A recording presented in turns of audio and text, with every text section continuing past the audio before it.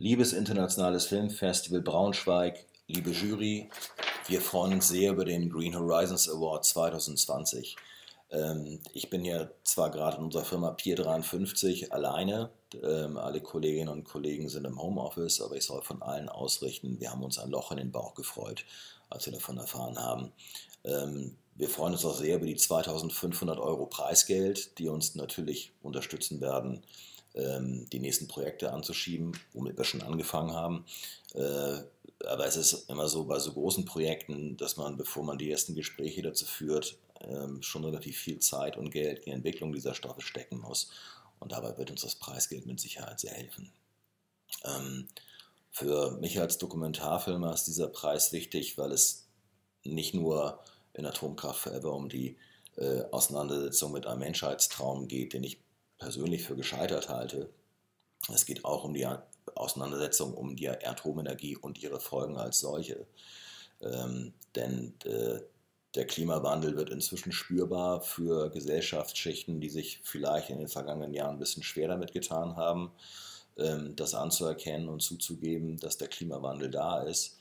Ähm, und entsprechend ähm, werden die Diskussionen um die CO2-ärmere Atomenergie in den nächsten Jahren und mit dem deutschen Ausstieg auch nicht aufhören.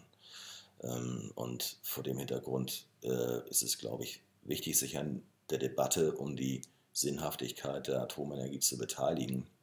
Denn ich glaube, das zeigt Atomkraft selber, glaube ich auch, dass Atomenergie nicht nachhaltig ist, dass es sehr teuer ist und dass es uns vor Probleme stellt, deren Lösung Jahrzehnte dauern wird. Ähm, und äh, äh, deshalb ist dieser, ist dieser Preis für mich ähm, wirklich eine, eine schöne und wichtige Auszeichnung.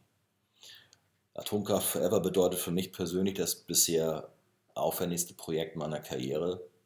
Ich weiß, dass ich 2016 mit meinem Kompagnon Hauke Wendler, mit dem ich die Firma P53 zusammen betreibe, bei einem QA in einem Kino auf der Bühne gestanden habe. Es ging um unser aktuelles Projekt damals.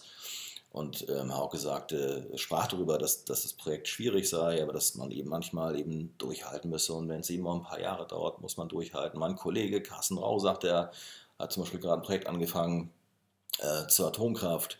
Äh, total schwierig, aber egal, wenn das vier, fünf Jahre dauert, dann ist das eben so, dann muss man das eben durchhalten. Und ähm, ich muss ein ziemlich entsetztes Gesicht gemacht haben, weil das Publikum anfing zu lachen ähm, weil ich mir zu dem Zeitpunkt überhaupt nicht vorstellen konnte, dass es tatsächlich mal so lange dauern würde, diesen Film fertig zu machen. Wenn ich es gewusst hätte, weiß ich nicht, ob ich den Film angefangen hätte.